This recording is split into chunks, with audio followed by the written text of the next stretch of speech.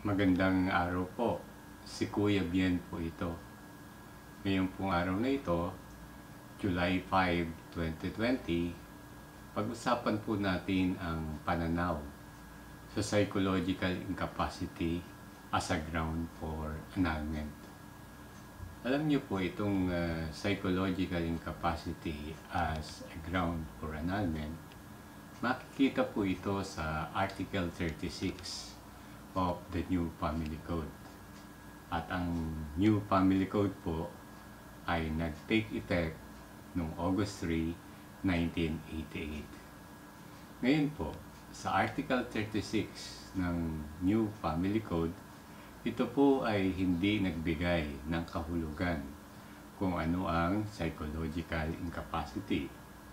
Hindi rin po ito nagbigay ng mga halimbawa kung ano ang psychological incapacity. Sinadya po itong ganito para po ang huwes na mag apply ng batas na ito, magawa ito on a case-to-case -case basis applying po yung experience nila, findings of uh, expert researchers in the field of uh, psychology at uh, decisions of uh, church tribunal. And of course, ngayon po, decisions of the Supreme Court. Alam niyo po, ayon po sa Korte Suprema, mula po nang nagkabisa ang New Family Code, dinagsa na po ng uh, annulment cases based on psychological incapacity ang mga hukuman sa Pilipinas. Marami po sa mga annulment petition na yon based on psychological incapacity ang napagbigyan Ngunit uh, marami rin po ang hindi napagbigyan at marami rin po ang nakarating sa Korte Suprema. Ngayon po, pag-usapan po natin yung mga kasong nakarating sa Korte Suprema. Yung pong tinatawag na landmark cases. Alam niyo po itong landmark cases, ito po yung mga kaso na binibigyan ng toon ng uh, legal community or community in general. Dahil sa landmark cases na ito, ang Korte Suprema ay naglalatag ng mga panuntunan na pwedeng gamitin sa hinaharap na may kawangis na pangyayari. Ano po ang unang uh, landmark case ng Korte Suprema with respect to psychological incapacity as a ground for annulment? Ang unang landmark case po ng Korte Suprema ay yung kaso ni Lioel Santos. Ito po ay pinagpasyahan ng Korte Suprema noong 1995 mabigyan ko lang po kayo ng konting background dito sa kaso ni Liwel Santos. Ito pong si Liwel Santos ay isang sundalo, nakapangasawa po siya ng isang nurse. Ngayon po, hindi naman po naging maayos ang kanilang pagkasama hanggang humantong na yung kanya pong asawang nurse ay nagpunta sa abroad. Nung nasa abroad na po ang kanyang asawa, sa loob po ng limang taon, hindi na po nag-communicate kay Liwel Santos.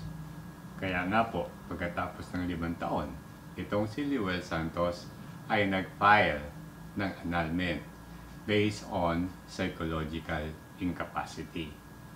So, ang nangyari po, hindi po pinagbigyan ng hukuman si Liwel Santos. So, hindi po siya natinag nagtungo po siya sa Korte Suprema. Nung nagtungo po siya sa Korte Suprema, ito po yung unang pagkakataon kung saan ang Korte Suprema ay nagbigay ng paliwanag tungkol po sa psychological incapacity. Kasi po ang pinupunto ni Lewel Santos ay meron pong abandonment at uh, itong abandonment na ito ng kanyang asawa is tantamount to psychological incapacity. Ano po ba ang sinabi ng Korte Suprema dyan sa kaso ni Joel Santos? Ang sinabi po ng Korte Suprema ay ito. Ang psychological incapacity is not a physical thing. Psychological incapacity is a mental thing characterized by gravity, juridical antecedents, and incurability. Alam niyo bang ibig pong sabihin nito ay ito. It is a personality disorder which is grave, deeply rooted, and incurable. So, sa madaling sabi, yung Korte Suprema po ay hindi po pinagbigyan ang petition ni Lewel Santos. Ano pa po ang uh, sumunod na landmark case sa Korte Suprema. Ang sumunod na landmark case po sa Korte Suprema ay yung kaso ni Roredel Molina. Si Roredel Molina po ay nakapag-asawa, may napangasawa po niya, may trabaho naman, subalit uh, base sa kanya, itong asawa niya ay mabarkada. Kaya po yung konting pera para sa pamilya, nagugugol pa sa barkada sinabi rin po ni Roredel Molina na itong kanyang napangasawa ay palaasa sa magulang. So sa matiling sabi, meron pong uh, irreconcilable uh, differences, incompatibility between the two. Kaya po, nagresulta ito sa hiwalayan. Nagfile po si Roredel Molina ng uh, petition for nullity of marriage based on psychological incapacity. Yung husgado naman po, yung trial court, uh, pinagbigyan yung kanyang uh, petition. Subalit ito po ay question ng Office of the Solicitor General. Ang Office of the Solicitor General, ito po yung abogado ng Estado, abogado ng gobyerno. Question po ito sa Korte Suprema sinabi po ng uh, Office of the Solicitor General na kung hahayaan ang uh, ganitong uh, kaso as uh, a ground for annulment based on psychological incapacity, lalabas po na ito ang pinaka madaling process ng divorce sa buong mundo. Pinag-aralan po ng Korte Suprema ang kaso na ito at pagkatapos ay naglatag ng mga panuntunan. Marami pong panuntunan ang inilatag ng Korte Suprema dito. Ngunit eh, bigyan diin lang po natin ang isa na panuntunan doon. Sinabi po ng Korte Suprema na ang psychological incapacity to be a ground for annulment of marriage must be medically and clinically shown to be grave, serious, permanent, and incurable. So, sa madaling salita, yung uh, personality disorder ay ganun po kalala. Dapat. So, alam nyo po, dito sa ating bansa, marami pong uh, annulment cases based on psychological incapacity ay hindi po tunay na base sa personality disorder which is grave, serious, permanent, and incurable. Kadalasan po eh bunga lang ng incompatibility, irreconcilable differences, at napalalala po ito ng mga circumstansya sa buhay. Kaya nga po, pag uh, ipinay sa husgado at magiging patas ang huwes, nagre-resulta po ito sa denial ng petition. So, sa madaling sabi, pag nag-file po ng uh, petition for declaration of nullity of marriage based on psychological incapacity at ang basehan lamang ay mababaw, isa po ang ito po ang mga siguradong bagay. Kagastos po kayo at uh, maabala po kayo. Ngayon, natural lamang po na wala namang taong gustong gumastos at maabala at walang kasiguraduhan ang kanyang magiging petition. Kaya dahil po dito, nagkaroon po ng mga practices yung mga ibang petitioner at yung ibang abogado.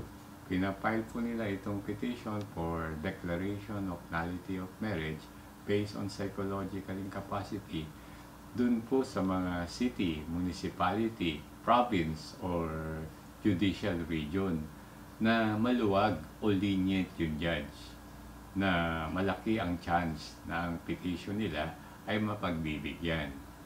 Subalit yung ganito pong practices ay nakarating na sa Korte Suprema. Kaya po yung Korte Suprema noong uh, 2018 nagpalabas po ng uh, ng uh, resolution. Inaatasan po yung mga petitioner na pag magpa-file po ng annulment, mag-produce po ng uh, valid ID indicating their address, kailangan din po ng barangay certification at uh, sketch kung saan sila nakatira. At itong barangay certification, kailangan din pong under oath ni chairman o ng barangay chairman. Maliban po dyan, kailangan din po yung abogado niya eh gumawa ng sworn statement na katunayan, verify niya kung saan nakatira yung kanyang kliyente o yung petitioner. At naniniwala siya na doon talaga nakatira sa address na yon. So, ano pa po ang ibang landmark case na pwede natin pag-usapan. Isa pa pong uh, landmark case na pumukaw sa interest ng legal community or community in general ay yung kaso po ni Valerio Calao. Ito pong kaso ni Valerio Calao ay uh, pinagpasyahan ng Korte Suprema noong 2015 ano po ba itong kaso ni Valerio Calao? Si Valerio Calao po ay nag-file ng petition for nullity of marriage based on psychological incapacity. Ang ginawa niya pong issues laban sa kanyang asawa ay ito. Sinabi niya po na ang kanyang asawa ay nagmamadyong. Pag nagmamadyong daw po ito, isinasama pa yung uh, minor de edad na anak. Maliban doon, uh, sinabi rin po niya na yung kanyang asawa ay madalas pumupunta sa salon, pumupunta sa parlor. Meron din pong issue ng uh, mabarkada, issue ng adultery, at meron din pong issue ng neglect of children. Nagrun po ito ng trial court. Subalit nung nakarating po ito sa Korte Suprema, dinismiss po yung kaso na yan at ang basis po sa dismissal is lack of factual basis. Sinasabi po ng Korte Suprema na yung uh, yung uh, mga allegations po doon sa petition ay hindi naman po napatunayan ng sapat na ebidensya o yung findings po ng experts ay binase sa mga allegations na hindi naman napatunayan. Subalit itong si Mr. Calao ay hindi po natinag. Nag-file po siya ng motion for reconsideration. Pagkatapos po niya mag-file ng motion for reconsideration, pinagbigyan po ang annulment petition niya ng Korte Suprema. Ang tanong, bakit? Ayon po sa Korte Suprema, tinignan po nila ang kaso ni Valerio Calao sa ibang perspektibo. Ano pong ibang perspektibo ang uh, binabanggit ng Korte Suprema? Sabi po dito ng Korte Suprema, dapat po sa mga annulment petition, ang findings po ng trial judge ay binibigyan ng uh, tamang timbang. Hindi daw po ito dapat dina-downgrade. Ngayon, sinabi din po ng Korte Suprema dyan, maging ang findings ng expert dapat din po eh, binibigyan ng due consideration. Ang kaso po na yan ay sadyang uh, pinag-usapan ng legal community or community in general. Ang uh, pagkaunawa po nila, pinaluwag na ng Korte Suprema ang guidelines with respect to psychological incapacity as a ground for annulment. Subalit, ano po ba ang katotohanan? Ang katotohanan po ay ito.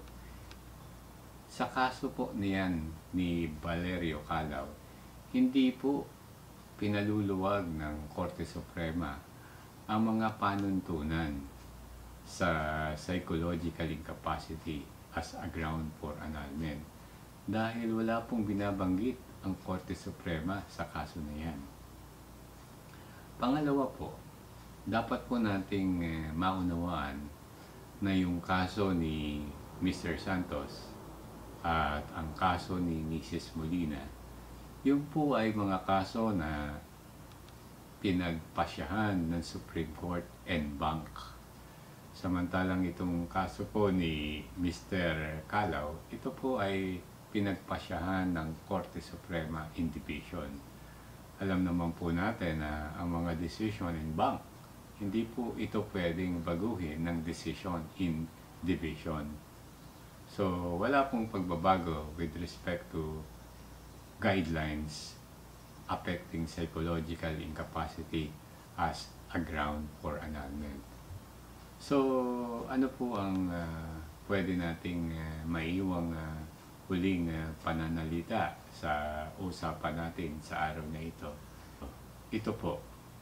Una, pag nag-file po ng petition for declaration of nullity of marriage based on psychological incapacity, wala pong kasiguraduhan na ito ay pagagrant ng hukom. Maliban na lamang po kung ang uh, psychological incapacity o yung uh, personality disorder is grave, serious, permanent, and incurable. Ano naman po ang positibong pananaw na dapat tayo magkaroon? Maasa po tayo na ang Korte Suprema sa hinaharap ay maglalabas ng decision en bank. At doon sa decision en bank na yon ay tahasang babanggitin ng Korte Suprema na pinaluluwag na nila ang kanilang panuntunan sa psychological incapacity as a ground for annulment. At uh, panghuli po, sana po ang ating uh, Kongreso ay gumawa ng uh, naangkop na batas dito para po yung uh, maraming uh, mag-asawa na nakakulong nakakulong po sa kasal na walang kahulugan ay makalaya na at uh, makapagsimula uli ng tama. Sana po nakatulong yung uh, pinag-usapan natin uh, sa araw na ito please uh, like and share para po makatulong tayo sa iba. Salamat po.